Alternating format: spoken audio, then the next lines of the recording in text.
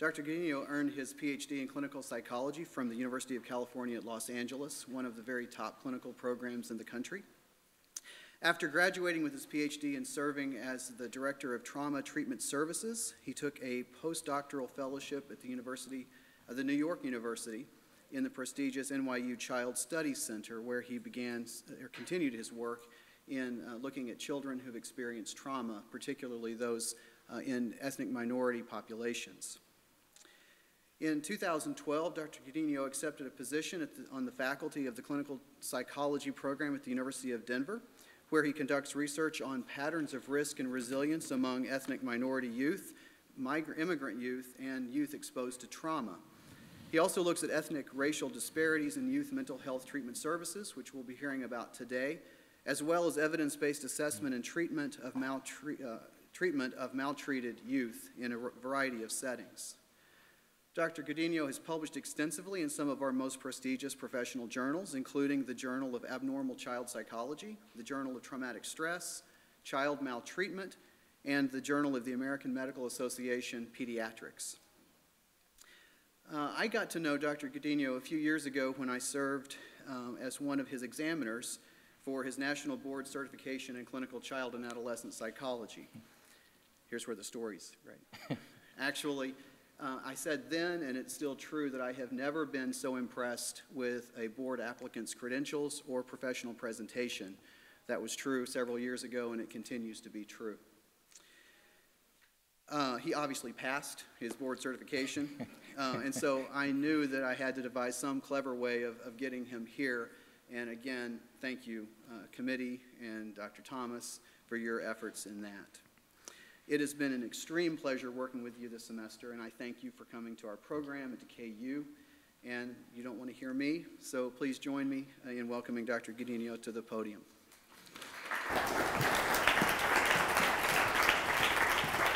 Thank you for the, uh, for the lovely introduction. Um, and before we get started, I just wanted to say thank you to the, uh, the faculty and the students and the staff at the Child Clinical Psychology Program for their uh, hospitality so far in the last couple of months. It's been a real pleasure to be here. Um, also wanted to thank the uh, Department of Applied Behavioral Science and Department of Psychology, uh, my two host departments. Um, the Langston Hughes Committee for making this possible, uh, and uh, last but not least, the Office of the Provost and the Office of Diversity and, and, and Equity for, uh, for letting me come out to visit during the semester. Um, it's been wonderful so far, and I look forward to, to getting to know more of you um, throughout the rest of the semester. Um, but the, the talk today is really focusing on some of my work looking at racial and ethnic disparities in mental health service use for um, children and adolescents. And the way I've structured this is to, most of the time will be spent talking about how we come to understand disparities um, with a real focus on, on talking broadly about unmet mental health need and also racial and ethnic disparities more generally. And then most of our time focused on some of my uh, work looking at disparities as a function of the kind of problem that kids have. And then at the very end of the talk, we'll focus a little bit on how we start to think about eliminating some of these disparities. Uh, so there I'll focus on some needed steps and also some, uh, uh, some of our ongoing work back in Denver. So before we get started, it's good to think about some of these definitions. There's lots of terminology that um, we'll be throwing around today. The, the, the but the most central one is really how we define need. So according to the Medical Research Council, need is present uh, when there's functional impairment um, that's present due to something that's preventable or treatable. So for kids, we're talking about impairment in their ability to function in school or to get along with family or with peers, and that this impairment is really due to something that's treatable or preventable, like a mental health disorder unmet need in that case is just simply the, the, the presence of this need without the child ever making any contact with mental health services. And when we think about disparities, here we're focusing very specifically on any difference in mental health service use that isn't due to the clinical appropriateness of the services or to the child's need or to patient preferences. So any difference um, in rates of service use that aren't due to some of these factors, that is when we start to think about a, a disparity being present. So to start with need, if we think about uh, large epidemiological studies that have looked at, at, at rates of, of, of, disorders here in the US, we see that about one in five children and adolescents under the age of 18 has a diagnosable mental disorder with associated impairment. Um, so the burden of this, of this problem amounts to about $247 billion annually um, used to treat some of these problems. Now, despite that extensive level of need and the extensive cost to society, um, overall, 80% of children or 79% of children with a mental health condition don't ever make any contact with mental health services.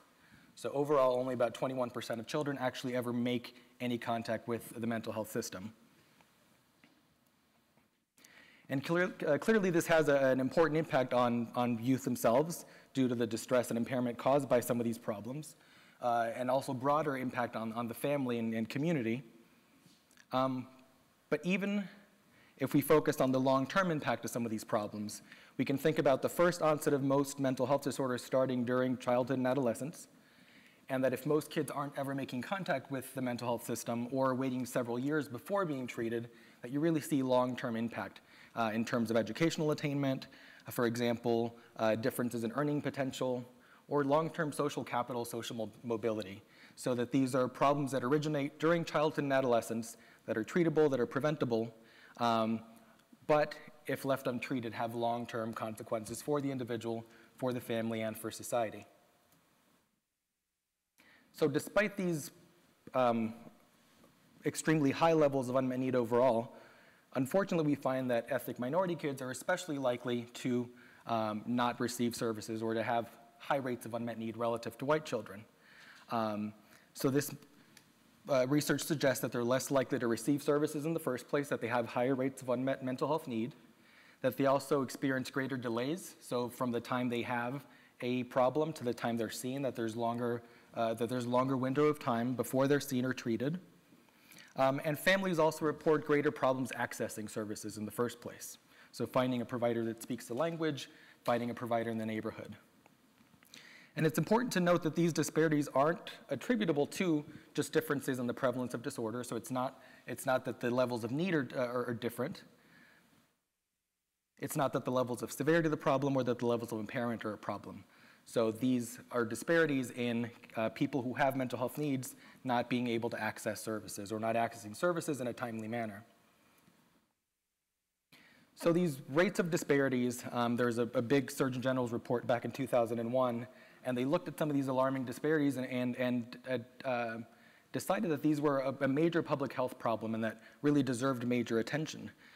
And unfortunately, despite knowing that these disparities exist, we, we saw very little change over the next five years. So the, the, the clearest data on this comes from the Medical Expenditures Panel Survey. So here, uh, LeCook and colleagues looked at a sample of about 30,000 um, children uh, ages 5 to 21. And what they find is that the disparities between African American and white children and Hispanic and white children persisted for the next five years. Now, if they just looked at those that have mental health need and had never received services, only 10% of whites went on to then make some contact with mental health in the next, uh, but by the end of the survey, and about half as many black children and Hispanic children did so. Importantly, they also found that these differences um, really were just differences in rates of initiation, so making that first contact. That once children made contact with the mental health system, you really didn't see differences in terms of the expenditures uh, uh, going towards those services. So that led them to conclude that disparities are really driven by this problem in initiating that first contact with mental health services. Now we can think of a host of factors that really come together to predict why these disparities exist. And unfortunately, most studies really focus on looking at one or a couple of these at a time.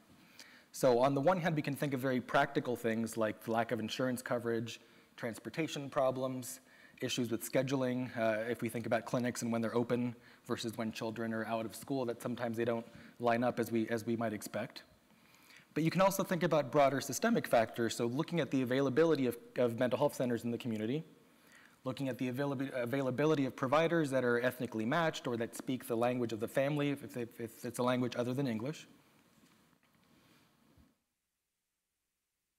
And then more broadly, thinking about how providers are trained. So how we're trained as clinicians to work with families that are different from us. So that these are just broader factors that likely um, amplify the extent to which these disparities exist beyond simple things like lack of insurance or lack of transportation. And we can also think about um, cultural and family factors and how these come together. So forces working within the family. So there's research showing that um, ethnic minority parents um, are less likely to identify a mental health need or to label it as such, that they have different beliefs about why um, behavior problems might develop or what the appropriate response is, that some of this might be a reason why um, services are not sought, or at least mental health services are not sought that there's heightened concerns about stigma and what it means to have a label, and also expectations that, lower expectations that mental health services are actually going to be helpful, um, and greater concerns about possible negative effects related to receiving services. Now, one area where I've had a particular interest in thinking about how cultural differences in adult distress thresholds might impact services.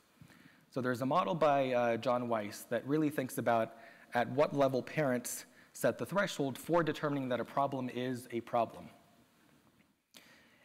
And the model suggests that there's lots of cultural forces that really set those thresholds. So that if we take the example of uh, shyness and talking back, that if we think of cultures where there's a big emphasis on collectivism, interdependence, on respect for authority, on deference, um, on obedience, that something like exhibiting shy behavior might not be considered so problematic, whereas talking back to an adult would be considered highly problematic. And if we look at cultures that value independence, where uh, assertive, uh, assertiveness might be valued, that in these cultures, something like talking back might be seen as expressing your views, maybe less problematic, but that something like exhibiting shy behavior would be seen as highly problematic. So it's not that in one culture something is considered problematic or not, but that culture helps shape the point at which we decide that something is a problem, and that it uh, helps us think about um, the relative uh, level of a problem. So if we compare shyness to talking back, that culture is going to help determine when this is a problem and the relative level of how problematic this is. And at the same time, it'll also shape our appraisals of, of, of how severe the problem is, but also what to then go do about it.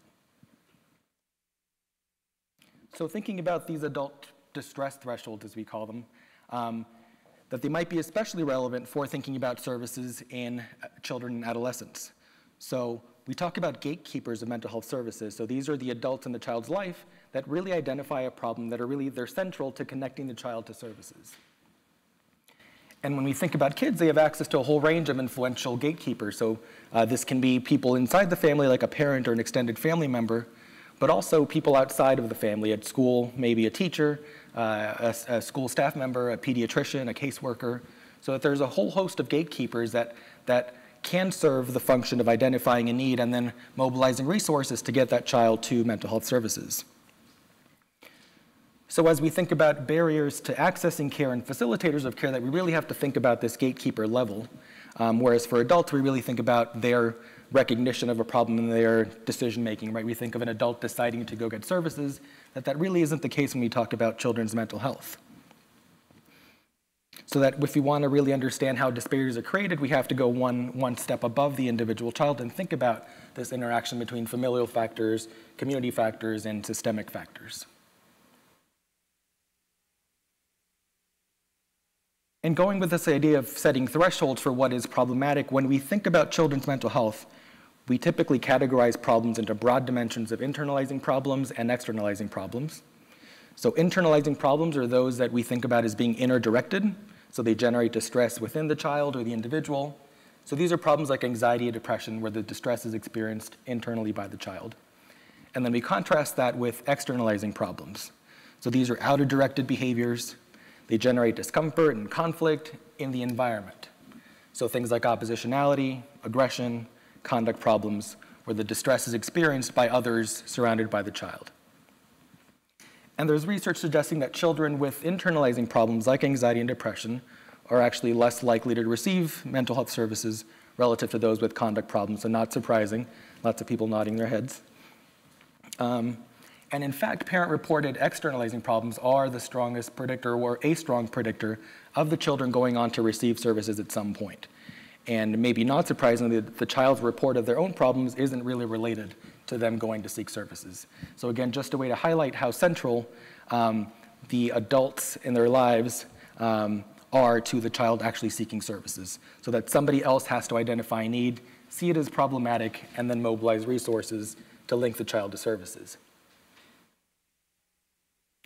So this led me to start thinking about how we might look at disparities based on problem type. So that if we think about externalizing need, so problems related to behavior and conduct and aggression, that we see African American and Hispanic kids being overrepresented in sectors where externalizing problems ex uh, are extensive. So places like juvenile justice, child welfare, um, where there's lots of attention on disruptive behavior. We also see some research suggesting that African American kids and Hispanic kids might be more closely scrutinized for behavioral problems in places like school settings where um, the same level of disruptive behavior might be met with a more severe consequence, or where parents and teachers uh, differ vastly in terms of how they rate a child's problems. Typically, teachers rating uh, the minority child's behavior problems as being much more severe than the parents rate the problem. So I started to think about how all of these factors outside of the family might actually come together to really promote service use when ethnic minority kids present with externalizing problems. And on the flip side, if we think about internalizing need, that these are problems that are going to require an adult gatekeeper um, to identify something that's experienced by the child that's more subtle, that sometimes might have to be communicated verbally from the child to the parent. So that these problems are less problematic for others, they're maybe harder to identify, um, and that given all the barriers that we've talked about, that ethnic minority parents um, might be less likely to seek services for internalizing problems relative to white parents. So the idea that these problems might be seen as less problematic in the grand scheme of things, or less problematic to the point that they're not um, uh, severe enough to overcome the many, many barriers that families are facing to be able to access services.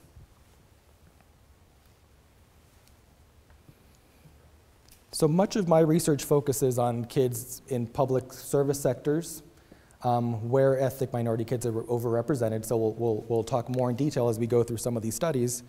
But most of my work focuses on kids that are connected to child welfare, juvenile justice, um, the mental health system. So again, places where kids are overrepresented, where ethnic minority kids are overrepresented. And as far as the work I'm reviewing today, I'm focusing on two very specific aspects of that work. So one is a question of unmet mental health needs.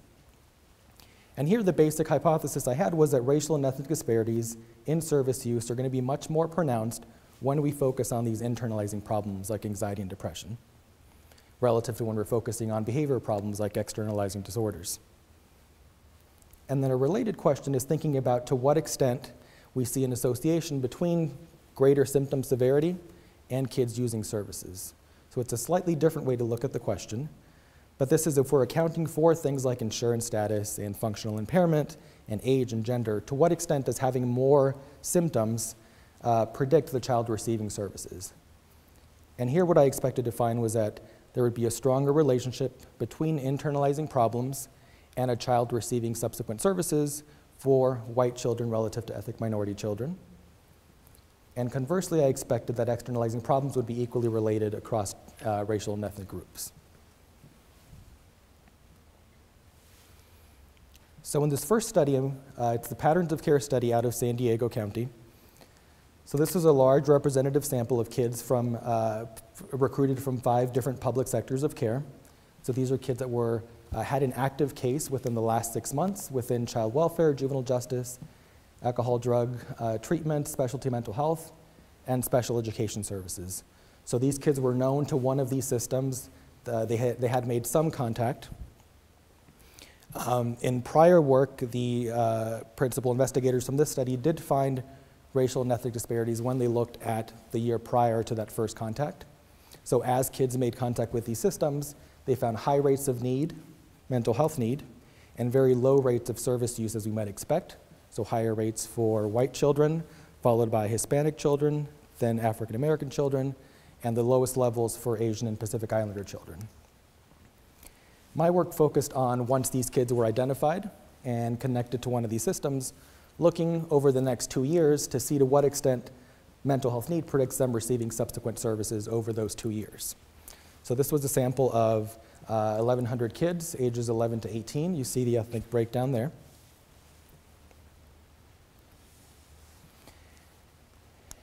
And I identified need in a couple of ways. So, one way was for kids to complete a diagnostic interview, and we categorized the disorders into internalizing and externalizing disorders. So, this included things like major depression, generalized anxiety, obsessive compulsive disorder uh, in the internalizing category. And then we look at things like ADHD, conduct disorder, and oppositional defiant disorder in the externalizing category. So this was a, a, diagnostic interview. They met criteria for the disorder, and they had some level of impairment or distress, at least at a moderate level. We also thought about kids that had high levels of self-reported symptoms. So lots of the studies that I'll talk about use the um, child behavior checklist, which is the parent report, and also the youth self-report. So these are widely used uh, symptom measures that are normed on a national sample, so we can get a percentile and figure out how, how uh, clinically significant a child's level of problems are. So here we classified kids based on a clinical score on their own self-report of internalizing or externalizing problems, plus their own report of impairment, and then we did the same thing for the parent. So kids were grouped into one of these categories based on their own report or their parents' report or a diagnosis. And I looked at service use in the next two years, focusing on specialty mental health services.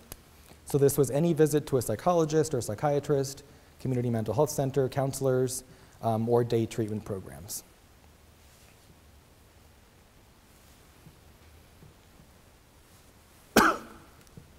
so here we see the rates of specialty mental health service use as a function of race. So we see white children followed by African American children, Hispanic, and Asian Pacific Islanders.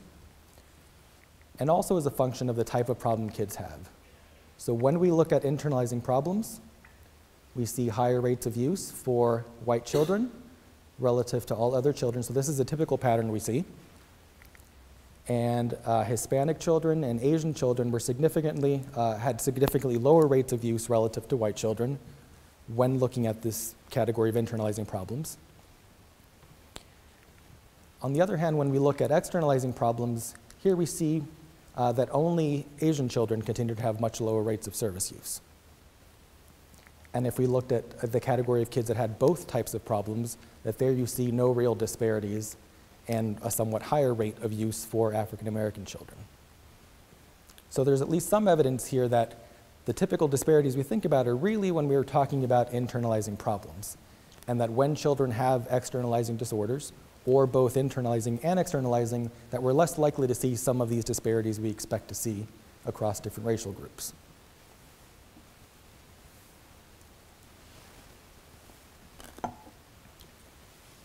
For the purpose of the talk today, I'm not going to uh, review lots of details on the statistics, but if anybody has questions, I'm happy to answer. Um, here, what I'll, what I'll say is that for all of these analyses, we accounted for the uh, stratification and clustering, and all the data are weighted so that any results I present are representative of the larger population. So in this case, the representative of San Diego County. In other data sets we'll talk about in a second, the representative of the US as a whole. Um, but here we use logistic regression to look at this association between symptoms uh, of internalizing or externalizing problems while accounting for demographic factors like age, gender, insurance status, um, and parent-rated impairment, which we, as we talked about before, is a really strong predictor of service use. And what we find in this first step is that internalizing problems were significantly and positively associated with kids receiving services overall in the sample, as was parent-rated impairment. So the more a parent rated a child as being impaired, the more likelihood that the child would receive services at some point in the next two years. And somewhat surprisingly, we found that externalizing problems were uh, negatively related. So in this case, we found that more problems predicted less likelihood of service use. But this seemed to really obscure some uh, overall, uh, the, the, the focus on the overall sample really obscured some important patterns. So if we looked at this next step where we looked at whether these patterns differed by race and ethnicity, what we found is that um, the relationship between those externalizing problems and service use differed for black children and white children. So that if we think about, so these are parents' uh, ratings of externalizing problems in the child. This is the mean, and this is two standard deviations below, two standard deviations above. And this is a predicted probability that the child receives services. uh, in the next two years. And again, we're controlling for levels of internalizing problems, parent-rated impairment, uh, age and gender. So controlling for all those other factors, you see that only for African American children do greater levels of externalizing problems actually increase the likelihood of them receiving services.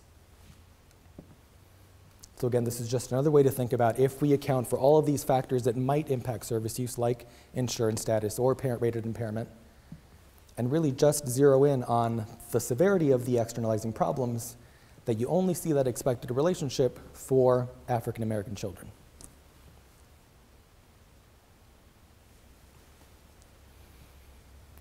Now, with the same data set, I also wanted to think more about this idea of adult distress threshold that might be related to parent cultural factors. So here I focused on 465 uh, youth and families that were either Hispanic or Asian. And I wanted to look at whether family immigrant status, so whether the parents were born in the US or not, um, might also reveal some important problem-specific disparities. So again, thinking about these adult distress thresholds, the idea was that uh, an ethnic minority family who is an immigrant family might hold some of these collectivistic values more closely um, so that they might view problems like uh, oppositionality talking back as much more problematic relative to something like being anxious or being shy or quiet. And on the flip side, that, that because of this emphasis on, on deference and respect for adults, that they might see disruptive behavior problems as being much more problematic. And that as levels of acculturation increase over time for US born ethnic minorities, that you might see uh, the, the, the, the reverse pattern that's much more similar to what we see with white families.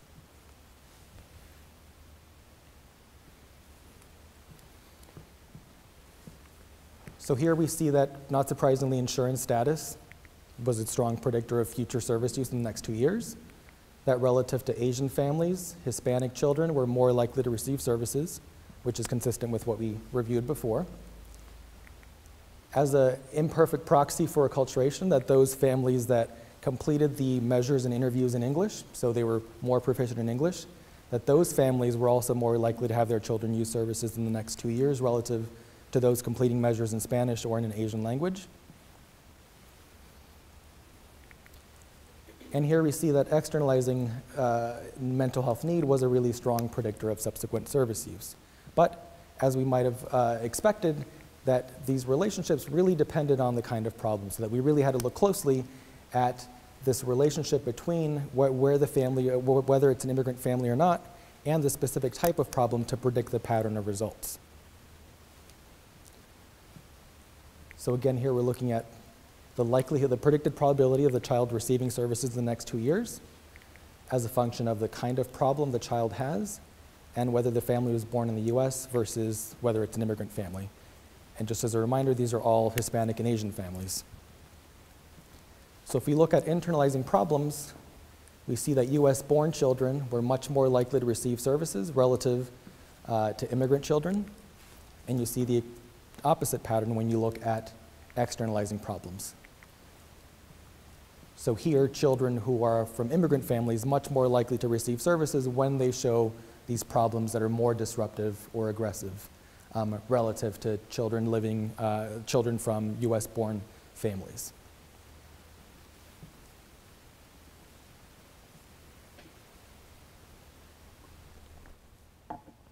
So one caveat before we move on, uh, obviously when you're looking at these large data sets, we're using some imperfect measures as I mentioned before. So lots of the processes that I'm uh, uh, expecting to be at work are really difficult to measure in these larger data sets.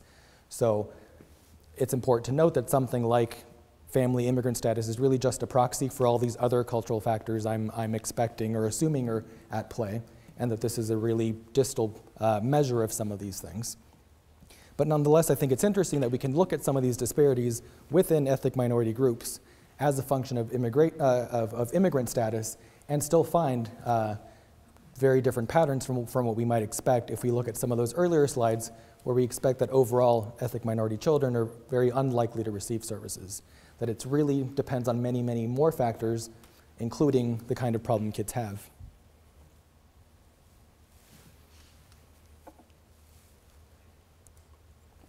I also wanted to extend some of this work to children in the child welfare system. So these are kids that have uh, any contact with child welfare.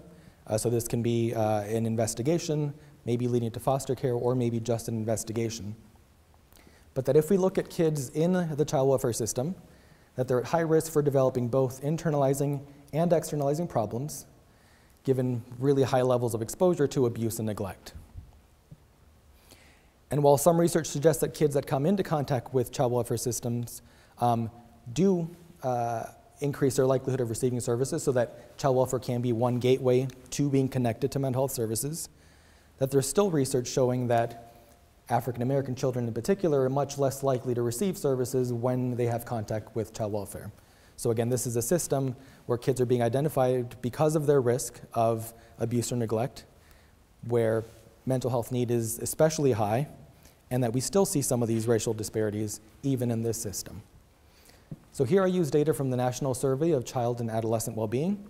So this was a nationally, a nationally representative sample of kids who had any sort of contact with child welfare. This was a sample of uh, about 1,700 kids ages 4 to 14 um, at, at the baseline assessment. And here we looked at mental health service use in the next year after the close of that initial investigation. Now, in this study, we didn't have uh, the luxury of a diagnostic interview, so here we're looking at need based again on the child behavior checklist and the youth self report. And to be consistent with prior research looking at this, um, at these data in child welfare, we identified need as, as uh, being above a T scores of 64%, of 64.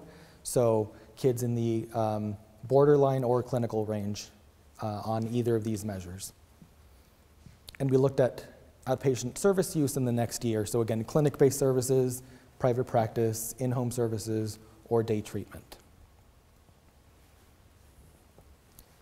Now, consistent with other studies that have looked at service use for kids in child welfare, we found that kids that were placed out of the home, so kids placed into a foster care home, were more likely to receive services than those who remained with the family of origin. Those that were abused relative to those that were neglected were much more likely to receive services. And this is particularly so for kids that are sexually abused, or at least that there are allegations of sexual abuse.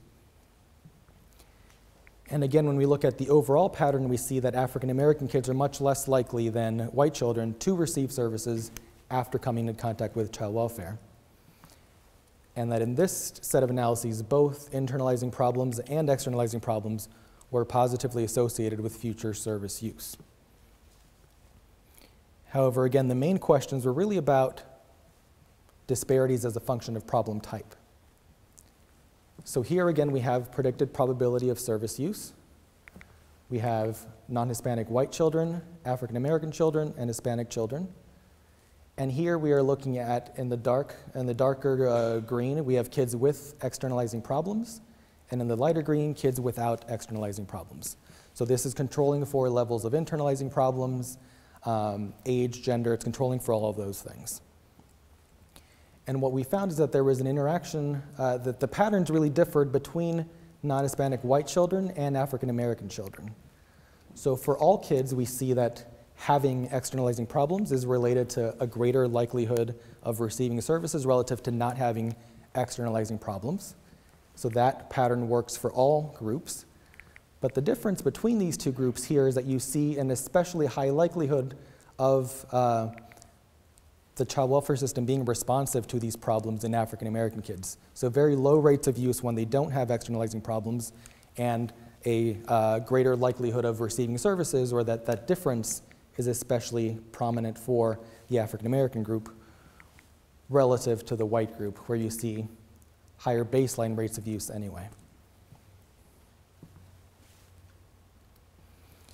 And that if we think about internalizing problems, that here we did not find any significant interactions, but the patterns are all in, in the expected association, where you see the highest rates of, the highest rates of use for non-Hispanic white children with internalizing problems like anxiety and depression, and that this is the only group where you see a significant difference in the likelihood of receiving services when you have internalizing problems versus when you don't. That in all other cases, these, these bars are not significantly different from one another.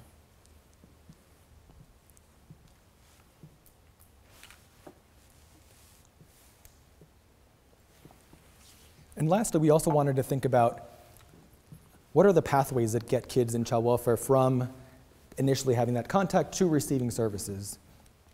So this was a structural equation model where we wanted to look at the link between the level of maltreatment exposure the child experienced, so the levels of abuse and neglect, predicting their subsequent specialty service use. But we also wanted to think about to what extent um, developing internalizing or externalizing problems connect uh, or increase the likelihood of ending up uh, receiving services.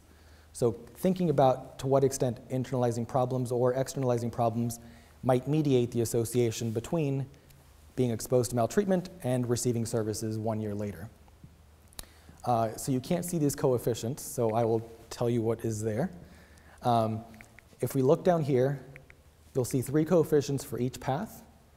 The first one applies to whites, the second one to African Americans, and the last one to Latinos.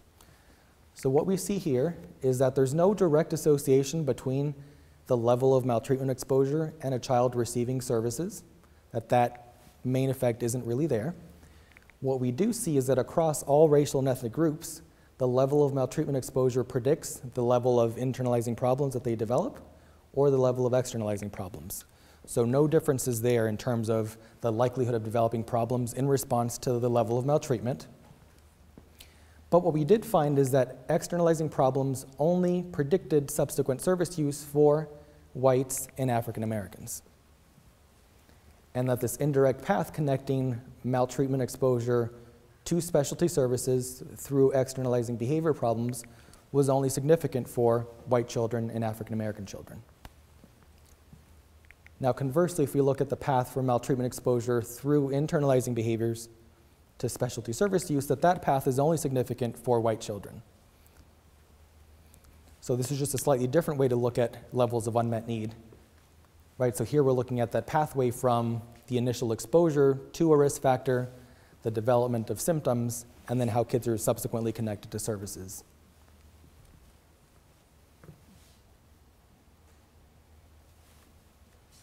So looking across these studies at different sets of findings, what we seem to find is that African American, Hispanic, and Asian American kids might be less likely to receive services relative to their non-Hispanic white counterparts, especially when they have internalizing problems. And that in fact, African American and Hispanic youth may be more likely to receive services when they have externalizing need present. And that even if we just look at Hispanic and Asian families, that youth from, uh, from immigrant families are less likely to receive services for internalizing problems, yet more likely to receive services when they have externalizing problems. So if we think of this from a social justice perspective, it really highlights some injustices in the way services are allocated. That it's not really an allocation based on a child's level of need, but it's based on all these other factors. It depends on the kind of need that the child has. And again, there's uh, many possible explanations. Here I tend to focus mostly on sources outside of the family and things like increased scrutiny for the behaviors uh, present in these institutions that are where minority kids are really overrepresented. And also family factors like the degree to which a parent um, considers a problem problematic or the, the, the, degree to which people outside the family are likely to identify a problem and then um, approach the family and the parent to mobilize resources. Now, as I mentioned before, there's some limitations to looking at these larger data sets. One is the measurement issue and the extent to which I'm able to measure some of these cultural processes or, or not measure them. Um, I'm also really just focusing here on any initial contact. So in all those models where we talked about service use, that was really just any visit, a single visit in two years. So we're not thinking about the quality of services, we're not thinking about engagement in services. And again, I'm not measuring some of these process variables um, in these larger data sets.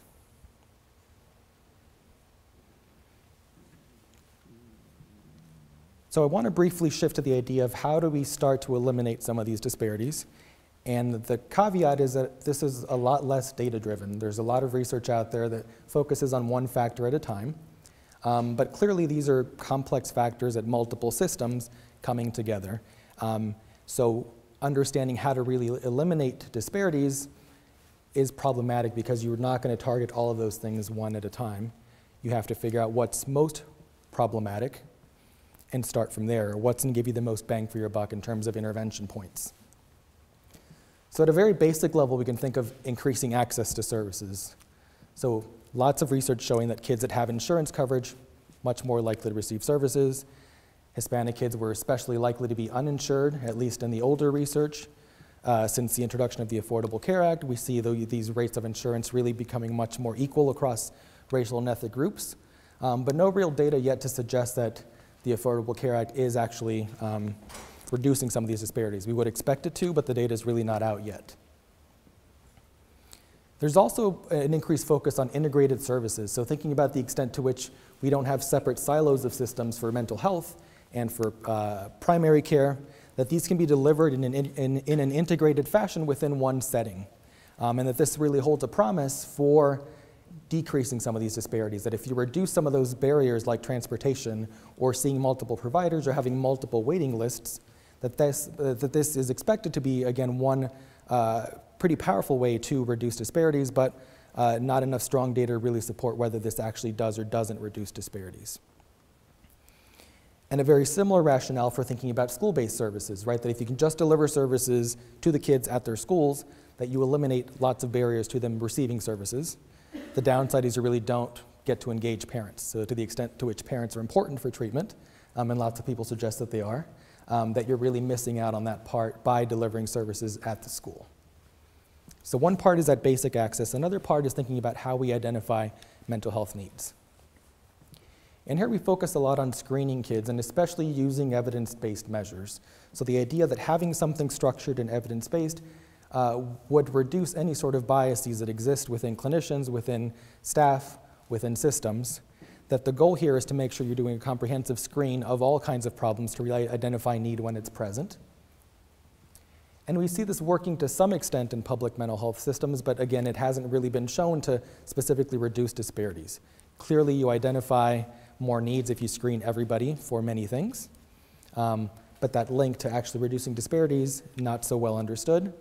Again, because here you're focusing on kids that are getting the screening in the first place. So we're talking about kids that are having some sort of contact where they can even be screened. And we also think about basic things like education to providers, so even them knowing about these disparities by problem type, knowing about disparities in general, knowing about the likelihood of under-identifying internalizing problems, that just having that information might be an important step. And also educating parents uh, in terms of how to recognize need, how to determine when a child might need an evaluation. So lots of efforts in terms of, of public service uh, campaigns, um, but very little data to suggest that this actually reduces disparities. We would expect it to, um, but the data uh, just aren't there to support this yet. So again, these really focus on this idea that disparities are really driven by low rates of initiating services. So if you could just get people access to services, that this might actually be the biggest uh, uh, payoff in terms of reducing some of these disparities. So thinking a little bit more about school-based services, that there's been some research looking at kids uh, post-Katrina, where they were randomly assigned to either receive services at a, at their school versus at a clinic. And that something like school-based services was much more likely to get the kids to receive services. So they were much more likely to make any contact relative to those uh, who were assigned to clinic-based services. And lots of these services are really delivered through contracts, so where community mental health agencies partner with schools to deliver some of these services. So in one study done in California, uh, about 1,800 kids, mostly Asian and Latino, um, they find that about 60% of those that were referred for services actually attended a session. So this is at least promising that having uh, a mental health system in place, embedded within the school, at least is more likely to get some of these kids to have a single session. So about 60% of those kids. Even yet, though, when we looked at students with mental health need, the Latino students were much more likely to be referred than the Asian American students. So even in this place where you have, um, in theory, more easy access to mental health services and lots of uh, teachers and school staff who are there to identify needs and refer kids, that even in this setting you see some racial disparities based on whether kids are Latino or Asian. Once they're referred, however, there's no real difference in their likelihood of accepting the services or going to session. So it's, it's really a difference in teachers and school uh, making that initial referral. One place where we do see some important, um, some data showing that, that um, factors can reduce disparities is in thinking about how systems collaborate with one another. So uh, a group of researchers followed, uh, followed up on the kids from the child welfare sample that I presented on. And what they did is they looked at these counties and looked at to what extent there, there are linkages between the counties, uh, child welfare, and mental health systems. So looking at things like to what extent are services located in the same setting? Are there um, um, shortened pathways to get kids referred for services? Um, so thinking about the level of integration between these systems. And what they find is that the level of linkages really moderated the extent to which um, clinical need from the child was related to the likelihood of receiving services. So that in systems that are much more integrated, need is a much stronger predictor of the child receiving services. And you also saw that it eliminated racial disparity. So in systems that are much more integrated, racial and ethnic minority kids were just as likely to receive services relative to those that were really separated and siloed. So these results are really promising. Unfortunately, they don't really have a, a, a, strong explanation for why these disparities were eliminated in these contexts. So it's possible that we're talking about reduced, um, reduced barriers for families, so that if that the more connections there are, that the easier the pathway is from going, uh, that the easier the pathway in going from child welfare to mental health services is for families, that that's one potential mechanism that's leading to some of these reductions. But again, this wasn't something that was actually measured in the study. And there's additional factors at the system level that seem to be um, promising, but again, very little data to suggest that they actually reduce disparities. So if we look at the Center for Mental Health Services, they've invested in over 100 system of care projects. So these are projects where multiple systems are funded to improve uh, their ability to work with one another. Um, and there's some initial evidence suggesting that kids improve in terms of their mental health systems, big changes in terms of how fragmented the systems are, so increased ability to work together as systems and to collaborate to meet the needs of kids. And overall reduced costs, especially when you look at reductions in how much money is spent on child welfare, juvenile justice, for example. So lots of evidence that these funded projects help systems work better together, and we would expect that that leads to better outcomes for kids, but that link has not necessarily been established.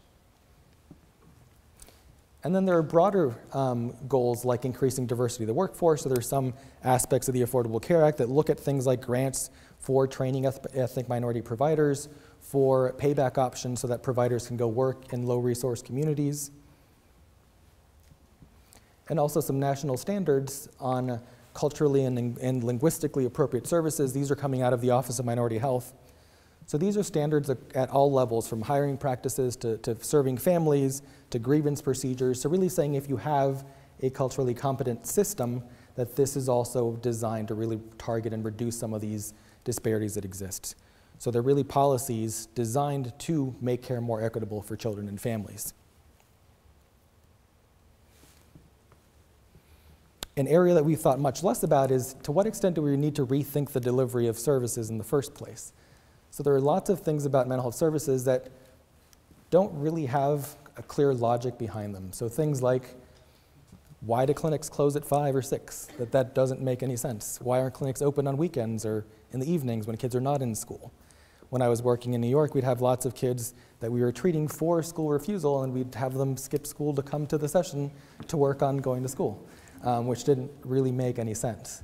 Um, and things like working after hours or on weekends, that was on, that was on you. The clinic, the official clinic hours um, had closed at that point. Thinking about service locations, so we've talked about school-based services, but things like home-based services. Um, thinking about other settings where sessions can happen. If we think about why sessions have to be 45 or 50 minutes, that there sometimes isn't a strong rationale for why they have to happen in one hour, one time a week, on the same day of the week, that that it's, it's unclear where that came from, but it's probably not related to, it, it's probably not central to receiving services. So that all of these are really ways to think about increasing flexibility, right? To really question how we deliver and package services to be more responsive to families, and at the same time to have lots of uh, information to show that these are actually serving families. So not just flexible treatment for the sake of getting kids something, that we also want to know that it's meeting their needs and is actually effective.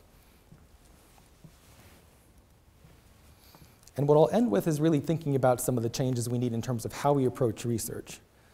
So we need a better understanding of, of how these factors are coming together to produce disparities, that we need to focus much more on a multi-level and ecological approach. If we think about kids being embedded within these multiple systems, that we really need to think about each of those systems to be able to reduce disparities or to target them. That this is a key area where we really can capitalize on mixed methods so using qualitative and quantitative research together to look at some of these broader patterns at the national level, but also understand some of the more um, complex and dynamic processes that are probably at play. And that through this process, we really need to understand the mechanisms that are, that are contributing to disparities. So having more of a focus on moderators of, of service use or mediators that explain service use, because if we have this information, then that is a clear target for intervention that if we understand how disparities work or under which circumstances they, they, they, they exist, that that gives you the information you need to then be able to create interventions. So this is one quick example of a study that has tried to do that. So this was the same study that where we looked at the, um, the school-based mental health study looking at Asian and Latino children. So here they were trying to explain that link between ethnicity and getting referred for services. So we said that Latino kids are more likely than the Asian kids to be referred. So here they looked at a multiple mediation model where they were looking at some of these potential predictors or some of these potential explanations for how those two things are connected.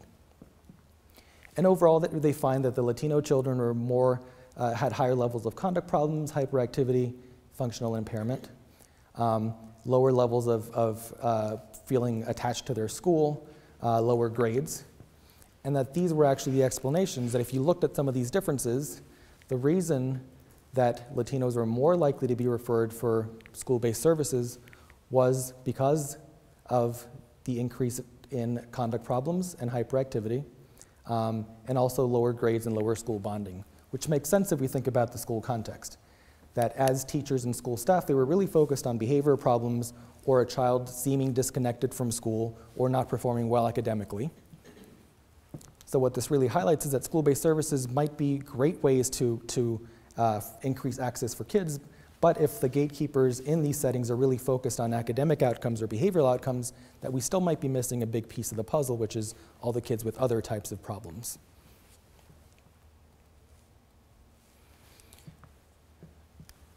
So in this last uh, couple slides, what I want to do is talk about some uh, ongoing work that we're doing in Denver to try to address some of these challenges with research um, approaches.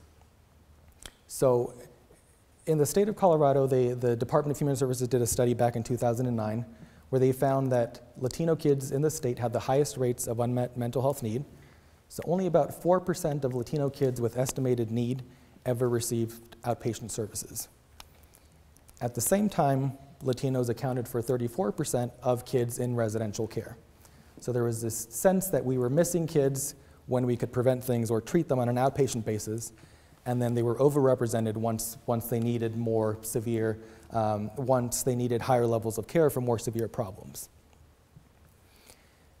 And as a small aside, if we look at the workforce in Colorado, we see that Latinos make up about 23% of all children in the US, yet in Colorado, only about 8% of providers are Latinos, and only about 12.5% speak Spanish. So the other concern was that some of this was a workforce issue where we had lots of kids with unmet needs and didn't necessarily have providers who were able to work with the non-English speaking families. So this is a study that's ongoing um, where we've partnered with the Department of Human Services, their Office of Behavioral Health, and we're doing this in three different counties in Colorado. So two in Metro Denver, one that's more uh, rural. And we're starting with a series of focus groups. So we're looking at all the different stakeholders slash gatekeepers, right? So looking at Latino families that have somehow already connected to services, that they have a really important story to tell about how they decided their kids needed services, how they got to services, what that experience was like. We've also recruited a group of, uh, of, of Latino families that have never had any contact with mental health services, just as a way to think about how families think about services if they should ever need them. We've also recruited service providers that they again share a, a wealth of information about the many families they've worked with. Agency directors and managers that are setting policies, that are, that are trying to make changes within agencies to address some of these issues of unmet need for Latinos. And then lastly, a group of community health workers. So these are people that are uh, lay workers that are trained by agencies to go out and, and serve as liaisons to the community. And in addition to these focus groups where they really they talk about how they perceive services, how they think Latino uh, disparities come to be, what they think we need to do about them, that we're getting this from all different perspectives. We're also including some survey methods to look at um, all these stakeholders' perceptions about barriers, um, so to what extent do people agree on what, the, what is getting in the way of service use? And lastly, using some experimental vignettes to look at how um, all of these different groups think about the severity, the need, the impairment, uh, the need for services associated with uh, kids in a vignette that either have internalizing problems or externalizing problems. So again, is a different way to think about when you present uh, two vignettes that are um, that are matched on the level of severity of the problem, but what's different is the symptoms. How do families, how do providers, how do community health workers think through that information to decide how bad the problem is and who needs services when? So we're taking a community-based approach here. We started working with each of these stakeholder groups to think about the questions, to think about the approach. And throughout the process, we're getting input from each of those stakeholders to think about um, how this is going to be useful for them. So in addition to thinking about uh, publications, to think about policy briefs for the Department of Human Services, policy recommendations for them. Uh, the providers are very interested in learning about some of these, uh, this information we're collecting to think about their own guidelines for services, and also how this can be uh, disseminated to families as well. And again, the goal is to really take these multiple perspectives from different stakeholders to think about how we then develop interventions for these things. So the goal is to use this to inform an intervention that we can then work with some of these counties to implement and to see if we can target one, two, three, four really primary things to really get some traction. So with that, I just wanted to um, acknowledge some of the funding sources for these projects and collaborators that have worked on these multiple studies. And as I mentioned before, just to thank these people that have made uh, this time at KU really special so far. Um, so thank you all for coming, and I'm happy to take questions.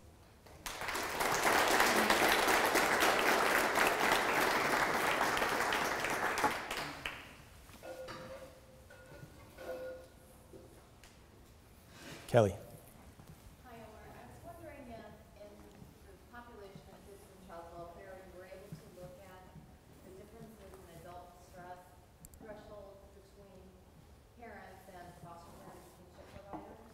That's a really great idea. Um, so the question was about whether we looked at differences in foster parents versus um, biological parents for kids in child welfare, and that's not actually something that we did. Um, one of the nice things about having large data sets is you get lots of information. One of the challenges is it's really hard to figure out who the caregiver is at each time point, so it's not something we've done yet. Um, but when you look at the literature on placement changes, right, there's, there's a lot of concern that foster parents especially are very sensitive to kids with disruptive behavior problems, and that disruptive behavior is a really strong driver of kids having multiple placements. So I would expect um, that, that it would be especially problematic for foster caregivers, but it's not something that we've looked at in our own data. Much uh examination of service outcomes reduction of yeah.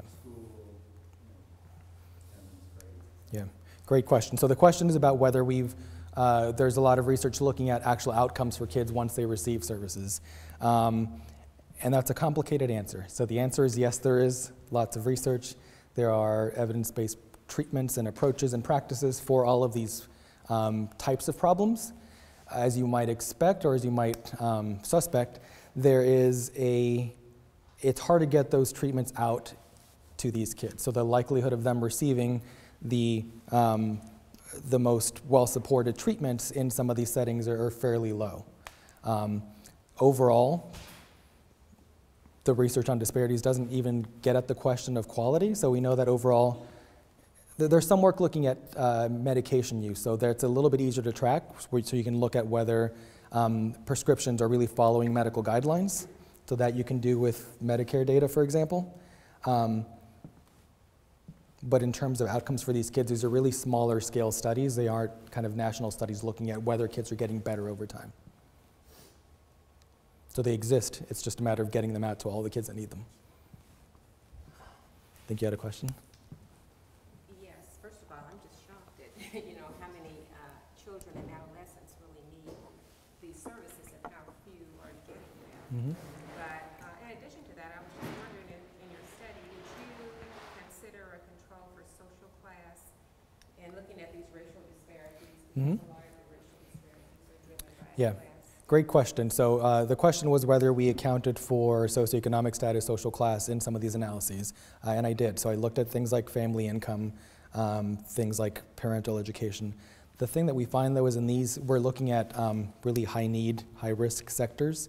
So in these cases, you're not actually seeing a really strong effect of socioeconomic status when you just look at families that have had contact with child welfare or kids that are already connected to juvenile justice. So in, in this subset of the population, it's, it's not as strong of a predictor. I see a lot of class. Exactly. But if you look at those first couple of slides looking at national studies of kids in the community, there you do see that it's a really strong predictor. Does age have anything to do with it? Five-year-old versus Yeah. ten-year-old or a fifteen-year-old? Does age have anything to do with it? It's a complicated question, but yes, it does have something to do with it. So typically you see, um, so if you look at the 6 to 17 year old range, the younger kids are more likely to get services.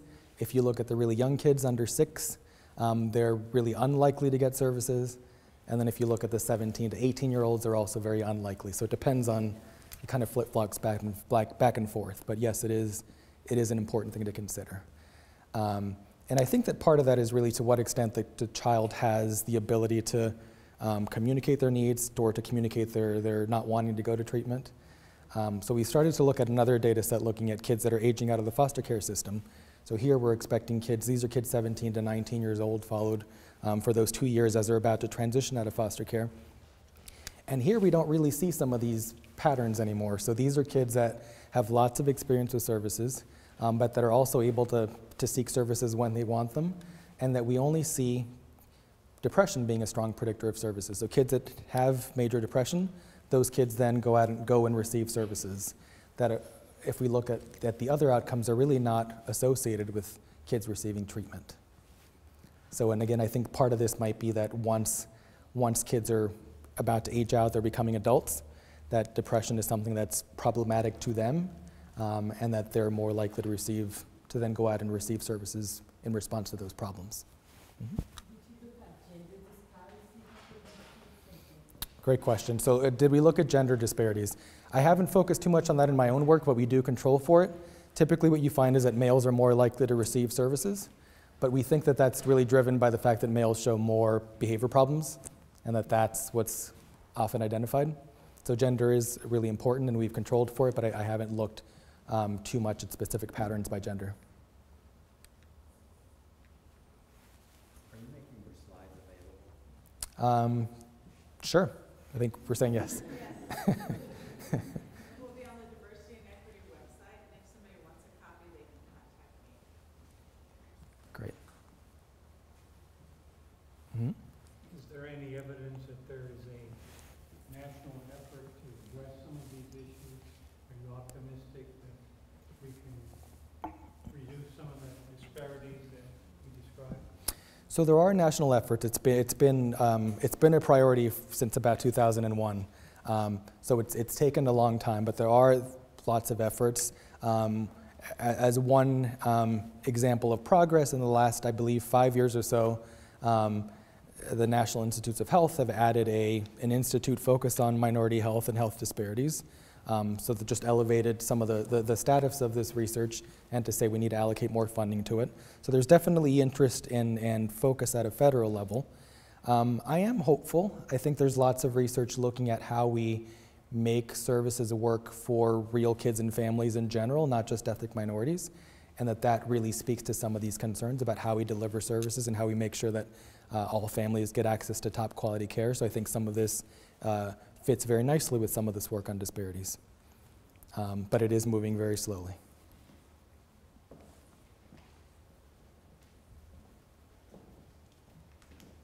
Great, thank you.